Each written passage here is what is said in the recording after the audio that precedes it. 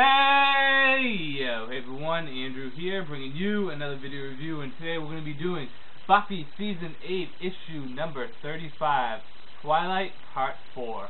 This is the ending to the Twilight story arc, where all our questions kind of get answered, in a way, kind of, ish. Anyways, um, I'm going to try to get uh, review this as best as I can without giving too many spoilers away. However, I am going to spoil some stuff for you guys.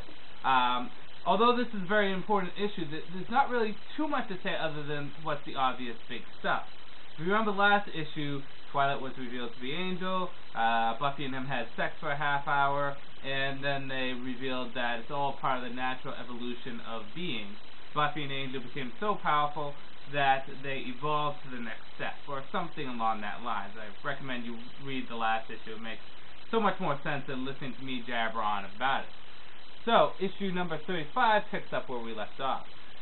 Apparently, the universe was using Buffy and Angel uh, to kind of start the evolution of things. At least that's how I interpret it. This may not necessarily be the case, but the fact of the matter is, is Angel says that the universe has given them this. It was set into motion to happen. Buffy and Angel were supposed to evolve and kind of continue the motion of the natural order of things. I hope that made sense. Well, anyways, they're basically in heaven. Whatever they want, they get. They want to be in Mexico, they're in Mexico. They want to be in England in 1672, they're there. Whatever clothes they want to wear, they got it. But mo more than anything, it's some previous Slayer and vampires clothes. But whatever they want, they basically get.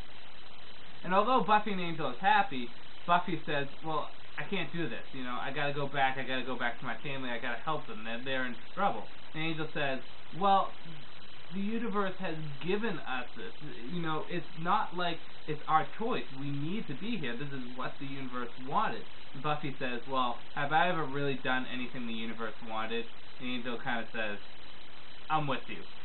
So again, here's some spoilers. So if you don't want to spoil stuff, uh, I'll, uh, uh, you might want to pause it or go to the end or just uh, mute it. And when I go like this, the spoilers will be over.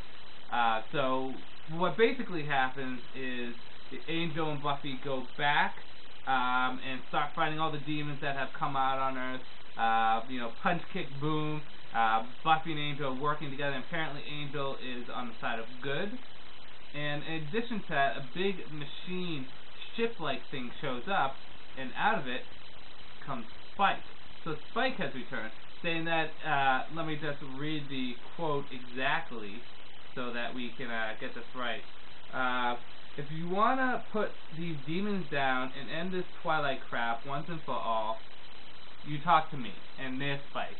So, uh, interesting interesting how things are going to go down. I mean, you got Buffy and Angel together, and then we're throwing Spike in the mix, and there's a big Buffy Bangel uh, mess, uh, awesomeness. Uh, so, spoilers over. Um, let's just talk about this issue itself. When I heard that Angel was going to be Twilight, I was a little bit worried that it, it was going to obviously ruin the character for me because it's Angel. He's one of my favorite fictional characters of all time, up there with like Batman and Link. He's Angel. So I was incredibly concerned. Um, how they did things, would I have gone the route that they did? No, but how they did things, they handled it for the most part pretty well.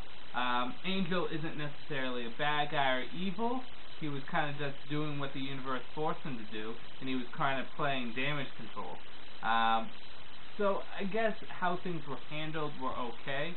I still wouldn't have gone that route, but on a whole, I'm okay with what's happened.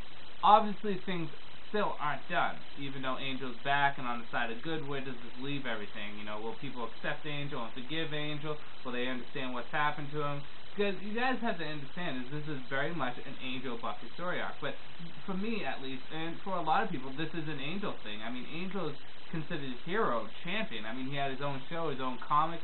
He, he's destined to play a major role in the apocalypse, hopefully a good role, uh, you know, from stopping the apocalypse. So he is important. So it's important to know exactly where Angel stands. I don't know how I think that the comic was handled, for the most part, good. like I said, I wouldn't have gone that route, but I, I, I'll, I'll live. And I'm interested to see how things go from here.